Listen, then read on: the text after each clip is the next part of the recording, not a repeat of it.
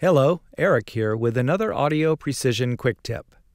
Quick Tips provide a brief overview of an APx500 feature or function.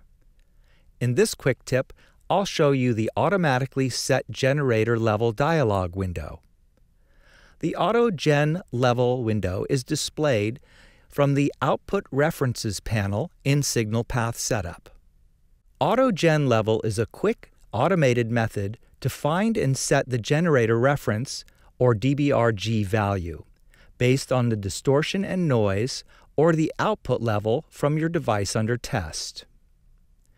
From the top down, the maximum level value is the highest level allowed by the algorithm. Set this to ensure not to damage your device under test. Next, select the regulation method, THD plus N or the measured level. With measured level, enter the desired target level and the input channel to measure.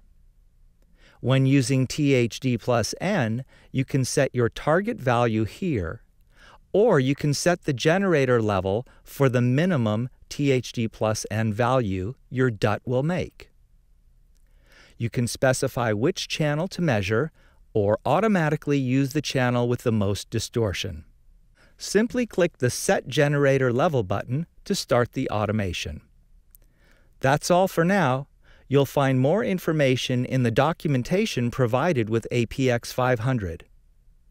Look for additional quick tips at ap.com, and thanks for watching.